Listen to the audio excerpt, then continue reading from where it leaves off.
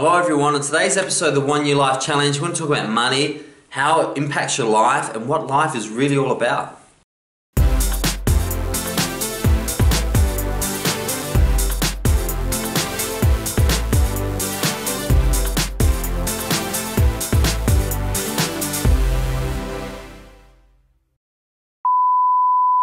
Hello everyone, today I want to talk about the subject of money. It's a really important subject. Every time I talk to, feels like every time I talk to people about making big changes in their life, they go, what will I do for money?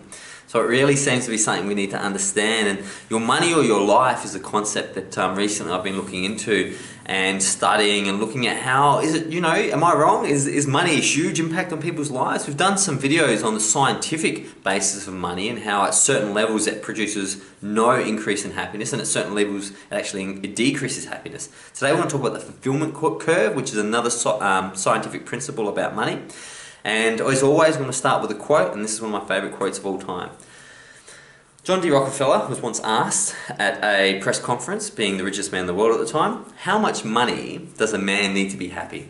To which John D. Rockefeller replied, just a little bit more. Isn't that true? Greed, which is the need for a little bit more, is so insidious. And it is the ultimate practical joke on humanity. Why? Because we're told once we become millionaires, we'll be happy.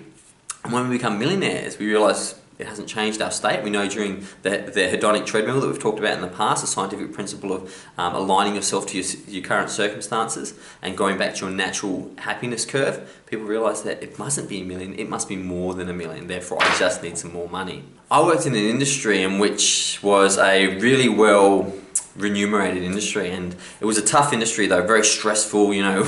It was it was an incredibly stressful industry. However the incomes were huge. And everyone would tell me when I'd say you know is this should we be doing this? Is it worth our health what we're doing? Is it worth our stress? Is it worth the, the 80 hour work weeks? And people would say listen I'm going to retire when I'm 35 I'm going to retire in two years. I'm going to retire and when I retire it will all be worth it those guys never retired they got to 35, 37, 40, 42. They never retired because they needed just a little bit more. Just a little bit more is the disease of greed, and unfortunately, we need to understand it before it dissolves us. So, what is the fulfillment curve? So, the fulfillment curve, which we'll just put up on the screen right now, is a basically a fulfillment versus money spent situation. Now, I'm not denying that having some money is not going to help you in life. It's definitely going to help. We live in a capitalist society. You're going to need money for things like, as you see on the graph, survival and comforts.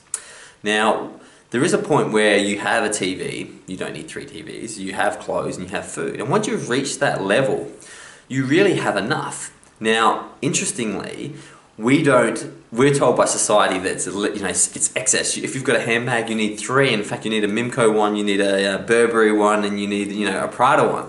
And what happens is we go into the area of overconsumption. Now, what's really interesting about overconsumption is it leads to a lack of fulfillment because we're constantly realizing these things aren't adding to our happiness. Therefore, we're stressing and looking for more and more ways to find happiness.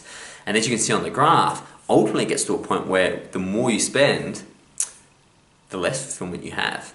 So how do we understand this and how do we really take charge of you know our lives and not put money at the center of it so we can live a fulfilling life? Well, number one, understand more items equals more problems and upkeep. Buying a boat is great, um, you know, and I think boats are fantastic. But understand that when you buy a boat, it's not about you don't just buy a boat and then instantly get these great experiences. There's going to be a lot of upkeep. There's going to be taxes. There's going to be cleaning fees. There's going to be all sorts of things associated with buy that boat. And later on, when you speak to someone who bought a boat, they go, oh, we should never bought that boat. So really put yourself in the place that before you buy, it's only normal to think about all the good things, but think about the upkeep, maintenance, and changes it will make to your life. Number two, more material things equal less time.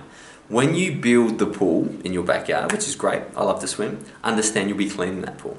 How much of your life are you willing to give up in order to, one, buy it because it might take three years of saving, and two, maintain it. Is it worth having a pool when if you have to spend three hours a week cleaning it, or is it better just to go to the beach like you normally do?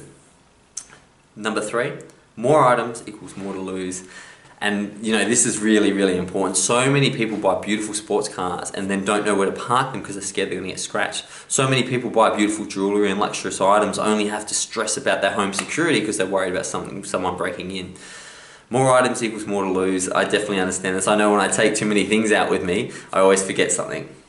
Number four, internal enough versus keeping up enough. We know when we have enough. We know when we're, you know, we know that, you know, we put on our shoes, our shirt, and our jeans, we've got enough. But then there's the external enough, which is, I wonder if people, you know, I better put that nice watch on because I want to impress some people. You know what, I might put some cologne on so I smell it with it. And all of a sudden, there's a difference between the enough that we're happy with and then the enough we want other people to be happy with. And interestingly, because it's such a varied environment we live in, you can never make those people happy. So it's more important to have your enough versus your self esteem enough. Five, purpose is not made of things. You know, so many. Van Gogh sold one painting in his lifetime and he's considered arguably the greatest painter of all time. Your purpose in life will give you way more happiness than any object. And if you think about how much time you put into buying an object or saving for a house, have you put that same amount of time in your purpose? Because if you if you want to be happy, which I know we all do, you put it into your purpose. Relationships are not things. Relationships are great, and you can take yourself to new levels on relationships, and they can grow you like nothing else. But they're not things. They cannot be owned. They cannot be kept. They cannot be stored, and they cannot be, you know, manipulated. Although people try to do all those things, a relationship is perfect in the moment as long as you're giving. And if two people are giving, a relationship is fantastic. But we collect relationships. We go, I know this bloke, my girlfriend's hot, you know, um, my boyfriend has this job. We, we, we treat our relationships like things, and ultimately, by doing that, they fall over just like things do. Learn to love things, learn to love people and use things, not the other way around. Great song from Drake's second album, third album, and I really agree. We have learnt to love things. You know, we've been told by capitalism, you know, love your BMW, love your AAA, you know, love your iPad. You can't love things. If you love things, that's weird. You know, it really, I think it's really weird that you love a thing. You can only love people because love is about a two-way street. It's about really giving, and I think can't love you back. Therefore, we need to cut that out of vocabulary the trick of giving. So the trick of giving is really cool. There's a part of your brain, the reptilian brainstem, that doesn't understand the difference between giving and receiving. It sees it as one action. So interestingly, it lights up when you give and it lights up when you receive. So the good feelings you get when you give is the trick of giving because your brain at some level releases endorphins about receiving. So it's true, you know, it really is true. Life is about giving. Giving can be receiving.